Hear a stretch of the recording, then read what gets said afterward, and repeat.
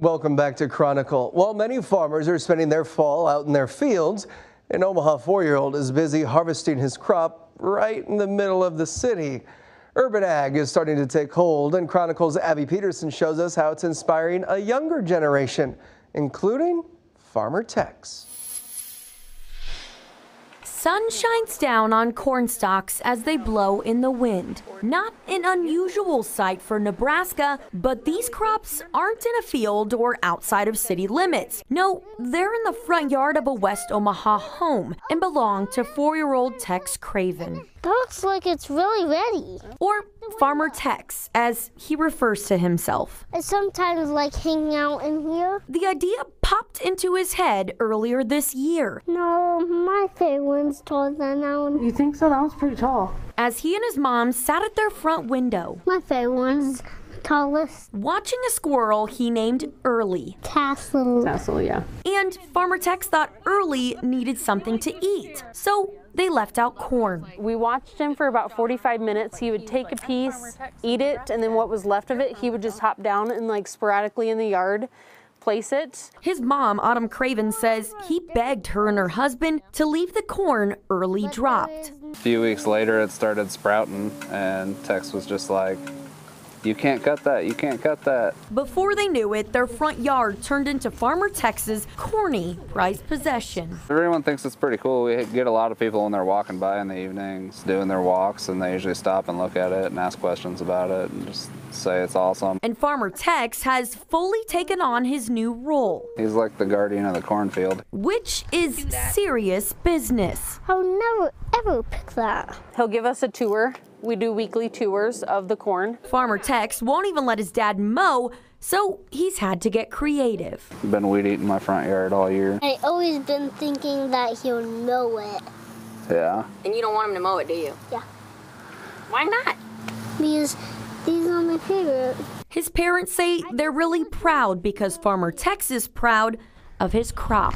It costs nothing to have a core memory and what better core memory, right?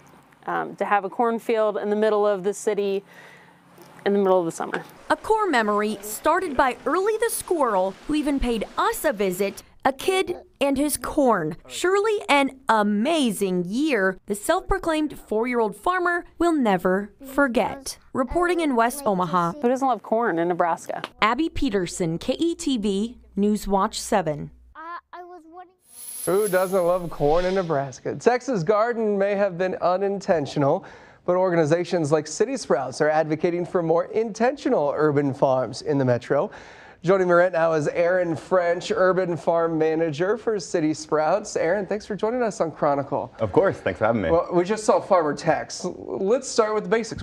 What is urban ag? Right, so urban ag is a, you know, thing we've been doing as humans since the beginning of time, growing food close to where we live in an effort to cut down on the time we spend hauling food, have access to better food. So anyone growing food in Omaha within city limits uh, is doing urban agriculture. And how does City Sprouts help with that? That's a great question. We kind of have three main pillars. We do it by building community uh, with neighbors around food. We do it by educating folks on how to grow their own food uh, and how to cook their own food.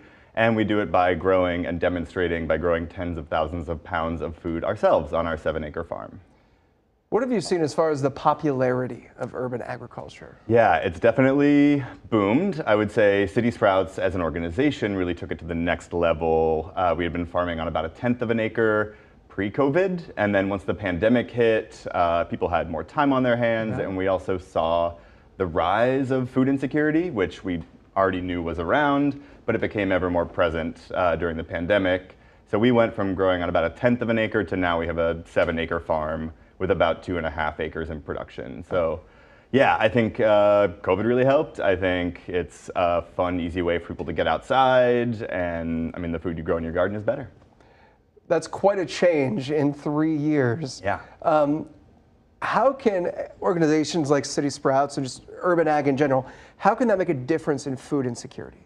Right. So, I mean, I think you know one of the ways that City Sprouts really works to to address that issue is through the growing of culturally preferred or appropriate produce. Right. So we see uh, in Omaha a huge population of, of refugees, folks coming from other countries. Mm-hmm. Yeah. Uh, a lot of them have issues accessing food that is important to them culturally. Um, things like, you know, molokia, sour leaf, uh, Thai eggplant.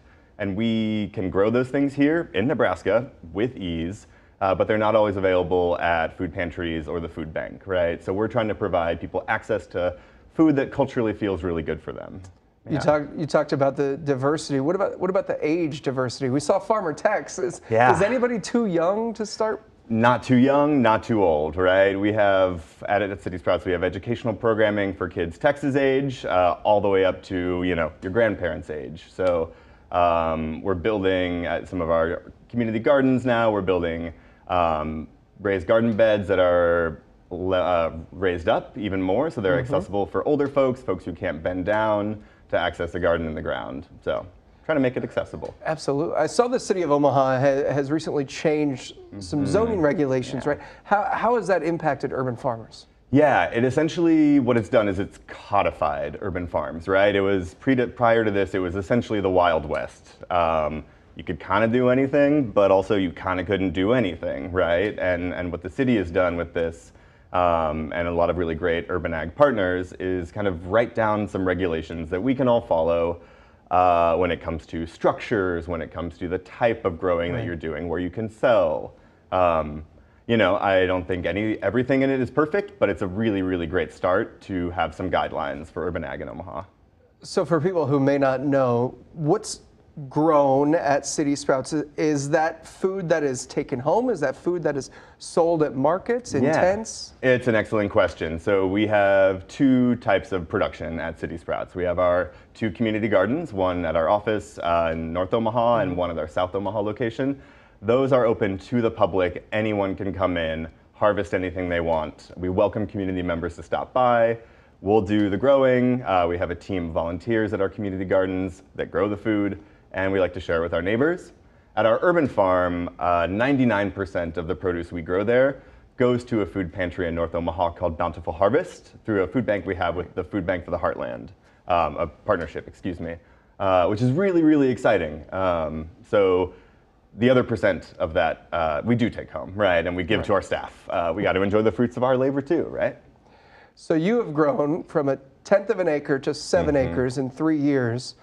What's the next step for City Sprouts? It's an excellent question. So we have this seven acre farm. We're growing on about two and a half acres now. Uh, we're looking to build a campus, right, to really develop this property. Uh, 2024, we'll be putting up a large greenhouse. We hope to have a barn, education center, and really make it a hub for people to come learn about urban ag in Omaha. What would you tell somebody that's, you know, maybe they don't have a green, maybe like me, they have a black thumb, you know, who, who, who really doesn't know how to get started? What would you tell them? I would say nothing is easier, right? Um, and that's the great thing about being in Nebraska. We don't have the longest season, but you know, from April until now, you can try to grow something, and even if you fail, try it again. You know, there are things like radishes. We can seed radishes 20 times throughout the season and have 20 harvests of radishes. Oh, wow. So never too late to try. All right, Aaron, thank you so much for joining us today. Absolutely. Still ahead this morning, grab the tartar sauce. There's a startup bringing fish farming to Nebraska. Ahead, the plans for a different kind of cash crop.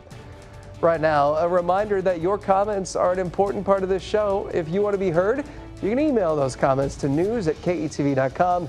Remember, we love hearing from you. We'll be right back.